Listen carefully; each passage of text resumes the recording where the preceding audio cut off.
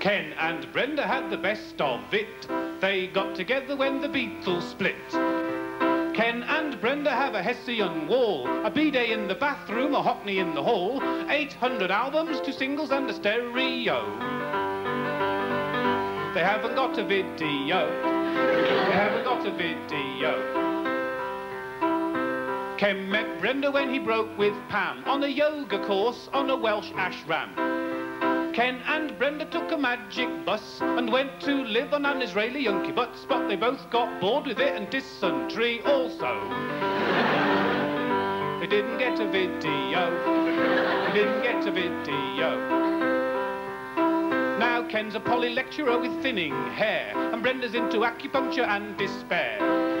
The daughter's called Tamsin, the son's called Luke. Tamsin's into hip-hop, Luke is into glue, and Ken is wishing he could get into the au pair, but no. Now they've got a video. Now they've got a video. Ken and Brenda asked me round to dine. Lentils, carrot cake and dandelion wine. I was so impressed with their commitment to the left, of how Karl Marx is wonderful and property is theft, that just before the camembert and after the Bordeaux, I ran off with the video.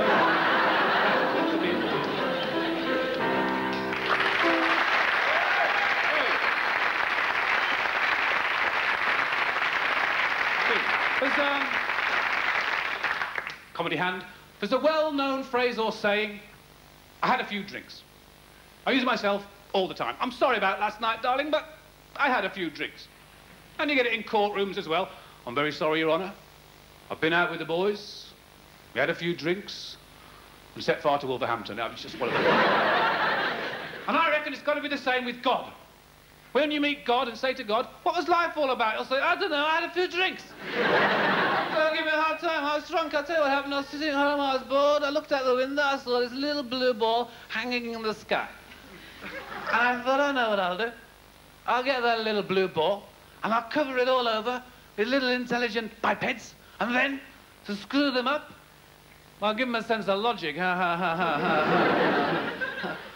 And I'll make them all different colours. That'll give them something to talk about. I expect that. And I'll, uh, uh, I'll make eight or nine different sexes and say there's only two. And, uh, I'll get these ones. I'll get these ones. I'll call them. I'll call them Hebrews and I'll give them a really hard time forever. and I'll say that they're the chosen people. Ha, ha, ha, I won't tell them what they've been chosen for, though, will I? No. Of course, I regretted it the following day, but what can I do? You know, I'm sorry I had a few drinks. I drink a lot. Do you know why? Because it's a boring job being God. It's very boring. The point about being God is I'm omniscient. You know what I mean? I know everything. I know everything. It really screws up your Christmas for a start, doesn't it? people, people keep coming up to me and saying, hey, God, guess what? I say, I know. That's why I drink so much, because I'm trying to forget. But I can't forget, because even when I forget, I still know. And what really gets up my nose is there is no conclusive proof of my existence. could just be a figment of Cliff Richard's imagination.